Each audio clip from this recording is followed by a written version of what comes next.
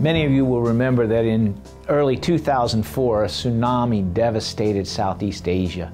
Shortly after that tsunami hit, I found myself in a small fishing village in India that had been completely destroyed by the tsunami. A team of volunteers and I were helping to distribute aid in that village. As we were sharing this aid with the people who were there, they kept asking us, Why are you here? Why are you here? And we would tell them, We're here because we love you, because God loves you. But they weren't satisfied. No, they said, No one cares about us. No one ever comes here. Why are you here? Finally, we said to them, It's because of Jesus. And I will never forget the response we got from an elder in the village who said, Jesus who? In 2004, we learned that the name of Jesus had never been uttered in that village. No one knew who he was. Sometime later, we were able to share the gospel with the people in that village, and they were very receptive. So much so that at the end of our presentation, one of the elders in the village said to me with tears in his eyes, We're so grateful that you have brought us this good news. We believe this good news is for us. But I have to ask you, he said, if this news is really for us, and if this news is really true, and if, as you say, Jesus lived 2,000 years ago, why has it taken 2,000 years for someone to care enough about us to share this good news with us? You know, I didn't have an answer for that man that day. And to be perfectly honest, I'm not sure I have an answer for him even now.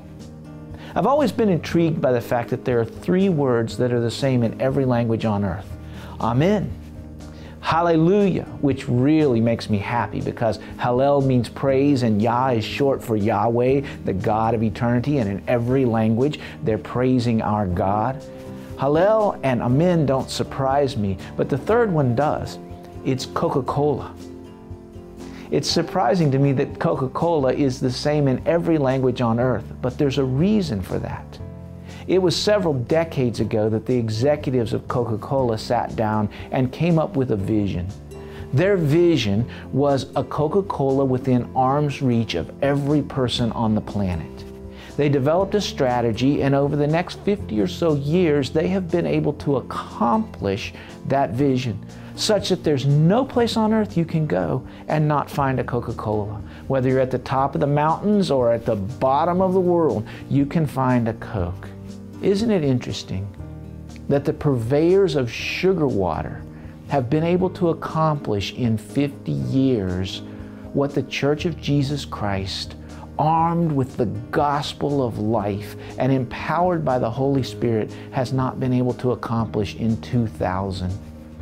It breaks my heart that there are still people on this planet that have never heard the name of Jesus that one third of the people in the world have not had a chance to receive the life that can only come from our Lord. But I'm so grateful to be a part of the Mission Society who are seeking to mobilize and deploy the body of Christ globally to join Jesus in his mission, especially amongst the least reached peoples. I've just returned from India where our Macklin Training Institute not only was training some of our own cross cultural witnesses, but where we had the joy to be a part of training over 70 Indian nationals who are leaving their own Indian cultural spots and going to parts of India amongst the tribes who have never heard of Jesus. Jesus himself said, The harvest is plentiful, but the workers are few. I hope you'll join me in three things. Number one, doing what Jesus said, which is to pray that the Lord would send workers into the harvest. I hope you'll pray for us as we try to mobilize and deploy the body of Christ. Second, I hope you'll support us with your financial gifts as we seek to mobilize this body. And finally, you might consider whether God is calling you at this time to throw your heart and your life over the line for the sake of the gospel of Jesus Christ.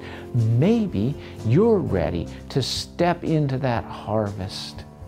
I'm grateful for your partnership with us here in the Mission Society. I hope that you'll continue to join us in this vital work. God bless you.